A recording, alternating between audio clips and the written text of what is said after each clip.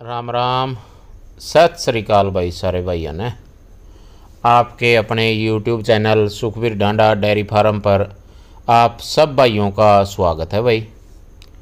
जो भी भाई चैनल से नए जुड़े हैं, वीडियो को देख पा रहे हैं और चैनल को सब्सक्राइब नहीं किया तो भाई चैनल को सब्सक्राइब करें और पास में लगे घंटी का बटन भी दबा लें ताकि आने वाली नई वीडियो का नोटिफिकेशन आप सब भाइयों को मिलता रहे भाई। आज का वीडियो भाई यूपी से। यूपी के ज़िले बागपत गाँव टिकाणा से। सतेंद्र भाई के यहाँ से। और ये वीडियो उनके द्वारा डाली गई है मेरे पास। और उनके पास ये जोटी है चार दांत भाई। जोटी को पंद्रह दिन भाई ने बताया जैसा कि भाई बच्चा दिए को गए, नीचे है इसके कटड़ा। अडर उडर बहुत बढ़िया है टाइट अडर है भाई।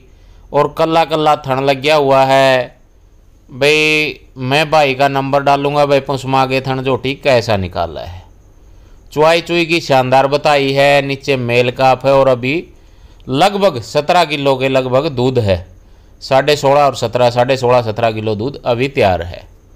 मेला मुला छंट के भाई ने बताया, भाई, कलियर होली है।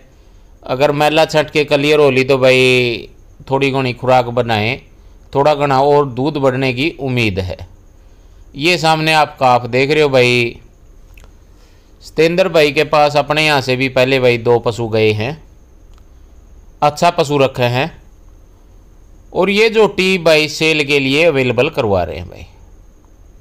पूंछ नीचे से तक पूरी काली भाई, छोटा सींग है हाइट लेंथ का आइडिया आप भाई से फ़ोन के द्वारा लगा सको। हो क्योंकि देखो, आप अब मौके पे पशुधन अपने पास वीडियो भेजा गया। वीडियो के माध्यम से आइडिया लगाएँ तो पशुधन अच्छा है।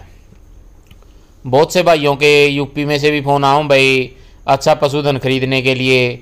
ये देखो भाई, आपके नज़दीक ही है और भाई इसको सेल के लिए अवेलेबल करवा रहे हैं। रेट भाई के द्वारा आप फ़ोन पे पूछ लियो भाई, जिसको पसंद आए। भाई ने बताया भाई, खाने पीने की भी जोटी बहुत बढ़िया है।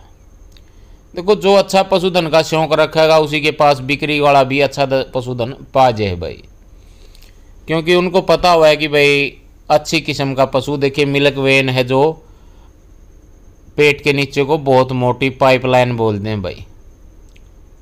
छोटा सिंह कैमरे के द्वारा तो थोड़ा हा कलर हा वैसे लग रहा है। और पास जाके आप देख सको भाई, अपनी संतुष्टि करके पशुधन भाई से लिया सको। हो उन्नीस बीस का फ़र्क जो मेरे को दिख रहा है भाई, उन्नीस बीस का थोड़ा फ़र्क है सुल्टी साइड में इसके लग रहा है। वो आप भाई से पूछना कि भाई, बावबादी है या इसको फ़र्क है? अपने को जैसा वीडियो के अंदर दिखा, मैंने वो आप सब भाइयों को बताया भाई। भाई, अच्छी जोटी है जो भाई लेने का इच्छुक हो, उनमें आप भाई भाई का नंबर मैं आपको डाल दूँगा भाई वीडियो के अंदर ही, और आप भाई से संपर्क कर सको। हो खाने पीने की तो अभी भी दिखने लग रही है भाई।